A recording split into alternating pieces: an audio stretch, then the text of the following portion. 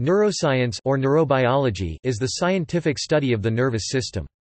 It is a multidisciplinary branch of biology that combines physiology, anatomy, molecular biology, developmental biology, cytology, mathematical modeling and psychology to understand the fundamental and emergent properties of neurons and neural circuits.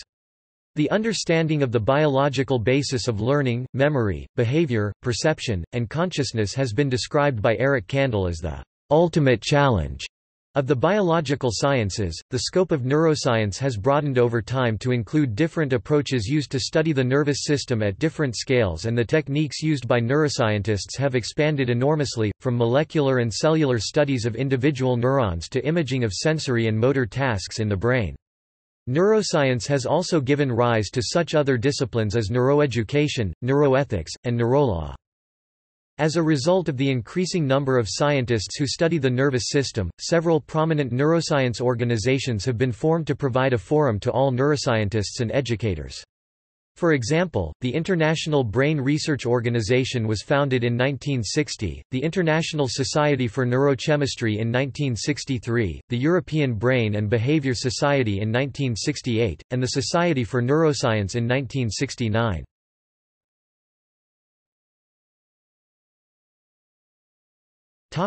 History The earliest study of the nervous system dates to ancient Egypt. Trepanation, the surgical practice of either drilling or scraping a hole into the skull for the purpose of curing headaches or mental disorders, or relieving cranial pressure, was first recorded during the Neolithic period.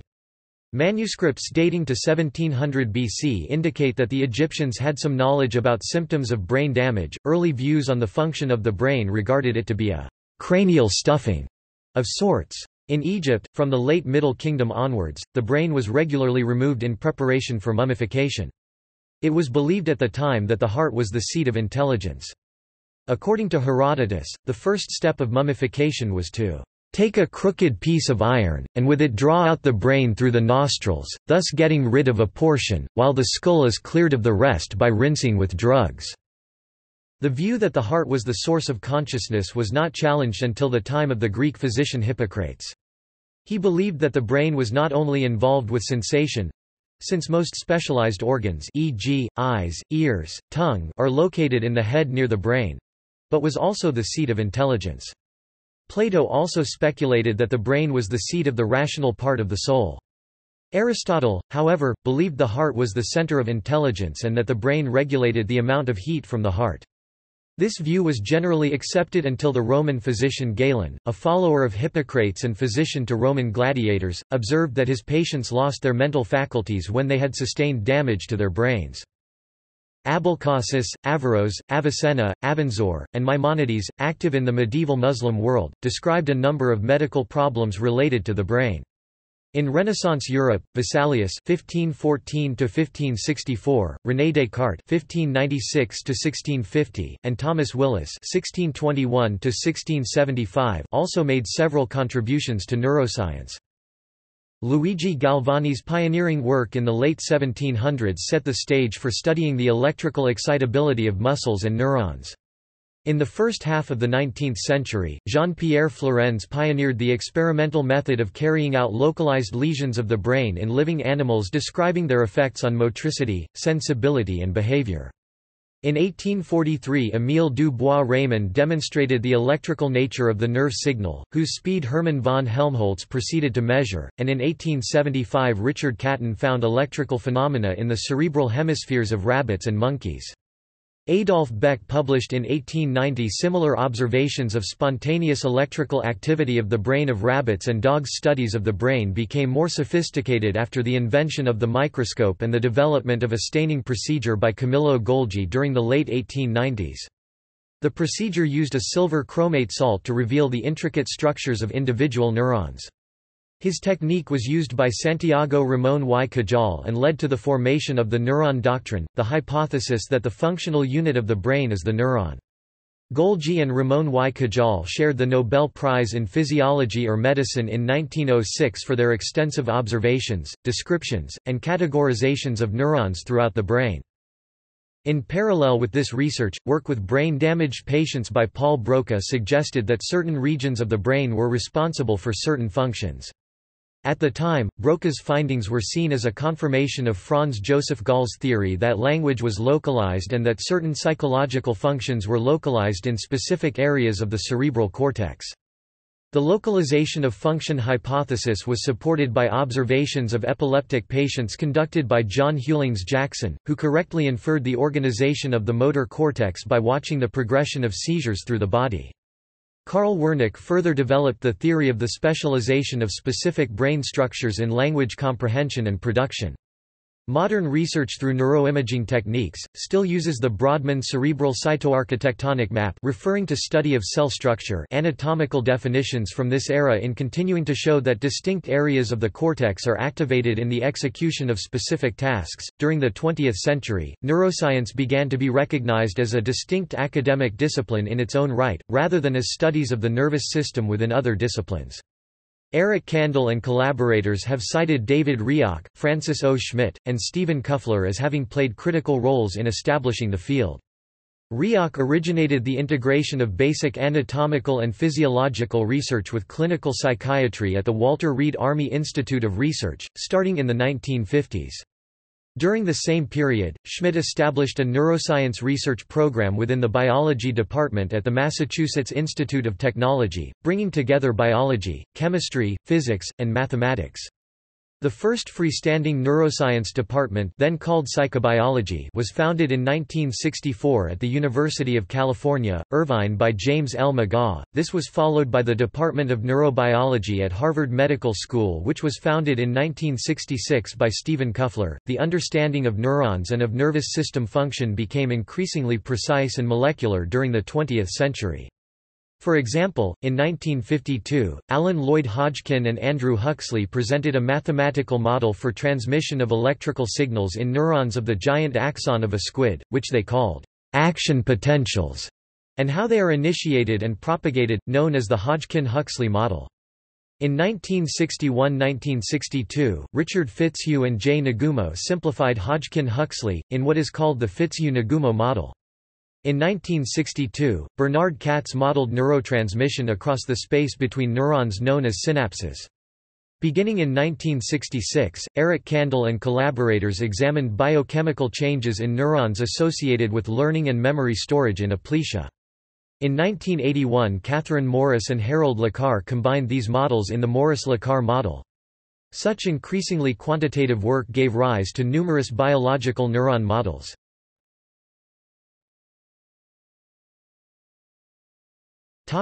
Modern neuroscience The scientific study of the nervous system increased significantly during the second half of the 20th century, principally due to advances in molecular biology, electrophysiology, and computational neuroscience. This has allowed neuroscientists to study the nervous system in all its aspects, how it is structured, how it works, how it develops, how it malfunctions, and how it can be changed. For example, it has become possible to understand, in much detail, the complex processes occurring within a single neuron. Neurons are cells specialized for communication. They are able to communicate with neurons and other cell types through specialized junctions called synapses, at which electrical or electrochemical signals can be transmitted from one cell to another.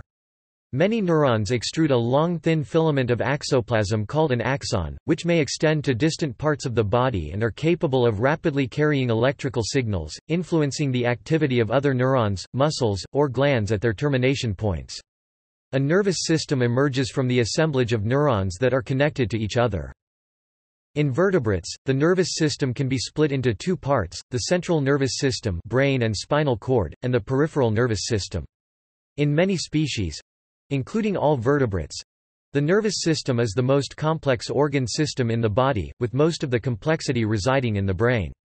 The human brain alone contains around 100 billion neurons and 100 trillion synapses. It consists of thousands of distinguishable substructures, connected to each other in synaptic networks whose intricacies have only begun to be unraveled. The majority of the approximately 20,000 to 25,000 genes belonging to the human genome are expressed specifically in the brain. Due to the plasticity of the human brain, the structure of its synapses and their resulting functions change throughout life. Thus the challenge of making sense of all this complexity is formidable.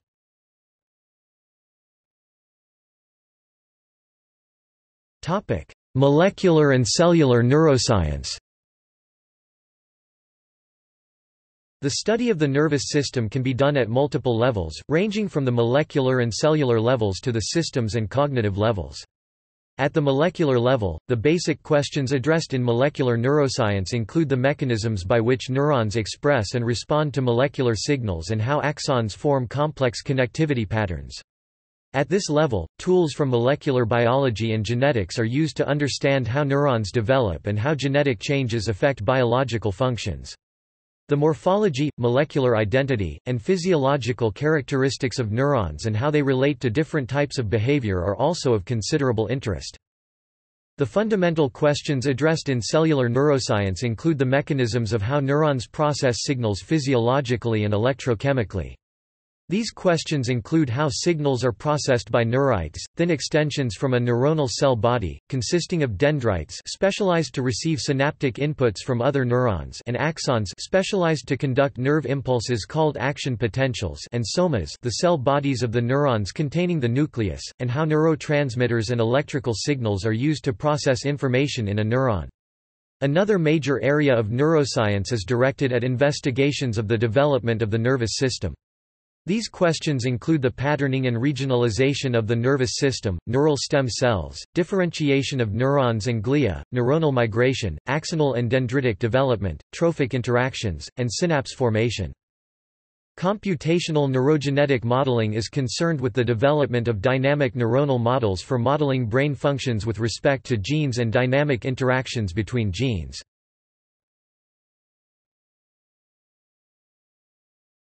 Topic: Neural circuits and systems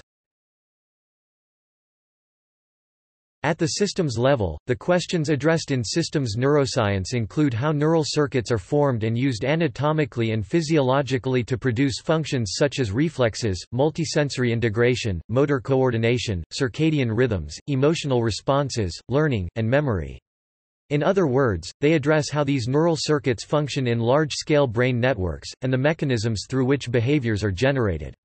For example, systems-level analysis addresses questions concerning specific sensory and motor modalities, how does vision work? How do songbirds learn new songs and bats localize with ultrasound? How does the somatosensory system process tactile information? The related fields of neuroethology and neuropsychology address the question of how neural substrates underlie specific animal and human behaviors. Neuroendocrinology and psychoneuroimmunology examine interactions between the nervous system and the endocrine and immune systems, respectively. Despite many advancements, the way that networks of neurons perform complex cognitive processes and behaviors is still poorly understood.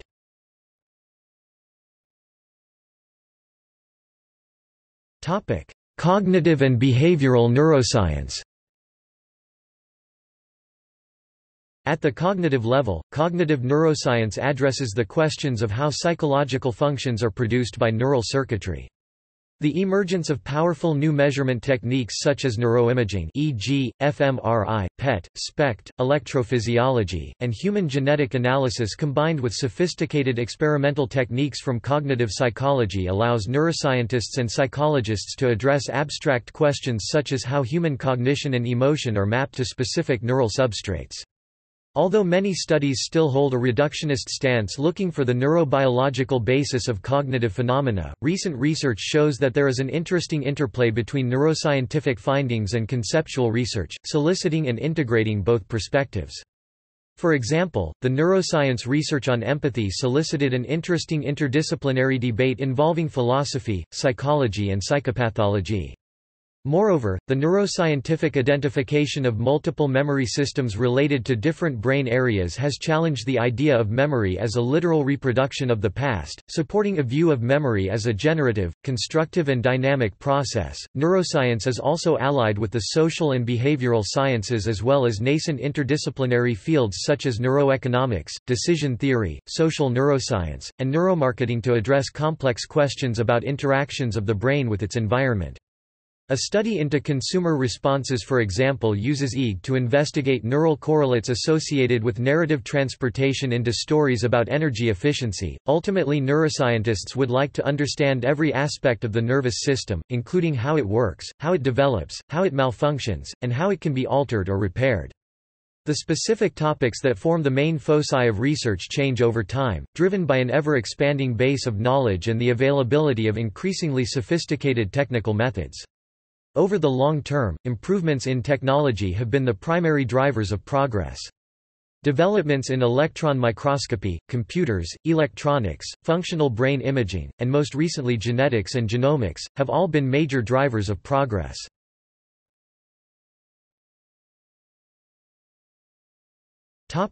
Translational research and medicine Neurology, psychiatry, neurosurgery, psychosurgery, anesthesiology and pain medicine, neuropathology, neuroradiology, ophthalmology, otolaryngology, clinical neurophysiology, addiction medicine, and sleep medicine are some medical specialties that specifically address the diseases of the nervous system. These terms also refer to clinical disciplines involving diagnosis and treatment of these diseases. Neurology works with diseases of the central and peripheral nervous systems, such as amyotrophic lateral sclerosis and stroke, and their medical treatment. Psychiatry focuses on affective, behavioral, cognitive, and perceptual disorders.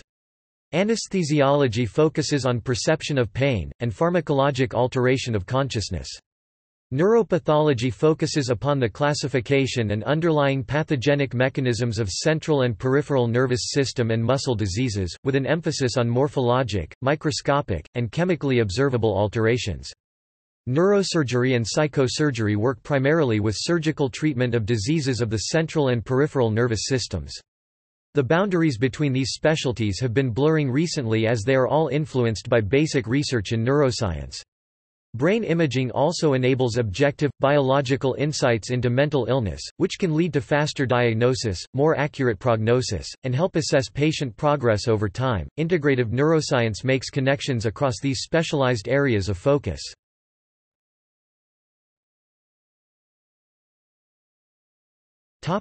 Major branches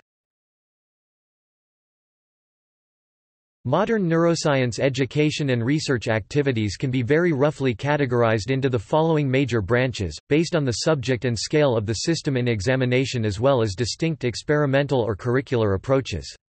Individual neuroscientists, however, often work on questions that span several distinct subfields.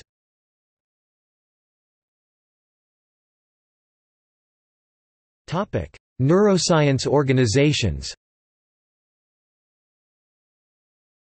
The largest professional neuroscience organization is the Society for Neuroscience (SFN), which is based in the United States but includes many members from other countries. Since its founding in 1969 the SFN has grown steadily, as of 2010 it recorded 40,290 members from 83 different countries. Annual meetings, held each year in a different American city, draw attendance from researchers, postdoctoral fellows, graduate students, and undergraduates, as well as educational institutions, funding agencies, publishers, and hundreds of businesses that supply products used in research. Other major organizations devoted to neuroscience include the International Brain Research Organization which holds its meetings in a country from a different part of the world each year, and the Federation of European Neuroscience Societies which holds a meeting in a different European city every two years. FENS comprises a set of 32 national-level organizations, including the British Neuroscience Association, the German Neuroscience Society Neurowissenschaftliche Gesellschaft, and the French Société des Neurosciences. The first National Honor Society in Neuroscience, NU was founded in 2006. In 2013, the BRAIN Initiative was announced in the U.S.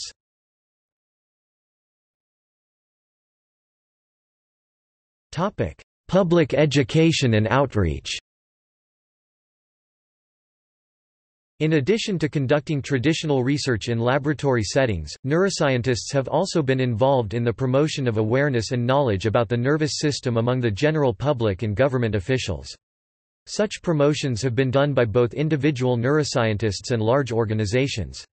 For example, individual neuroscientists have promoted neuroscience education among young students by organizing the International Brain Bee, which is an academic competition for high school or secondary school students worldwide. In the United States, large organizations such as the Society for Neuroscience have promoted neuroscience education by developing a primer called Brain Facts, collaborating with public school teachers to develop neuroscience core concepts for K-12 teachers and students, and co-sponsoring a campaign with the Dana Foundation called Brain Awareness Week to increase public awareness about the progress and benefits of brain research. In Canada, the CIHR Canadian National Brain Bee is held annually at McMaster University. Neuroscience educators formed Faculty for Undergraduate Neuroscience (FUN) in 1992 to share best practices and provide travel awards for undergraduates presenting at Society for Neuroscience meetings. Finally, neuroscientists have also collaborated with other education experts to study and refine educational techniques to optimize learning among students, an emerging field called educational neuroscience. Federal agencies in the United States, such as the National Institute of Health (NIH) and National Science Foundation (NSF), have also funded research that pertains to best practices in teaching and learning of neuroscience concepts. See also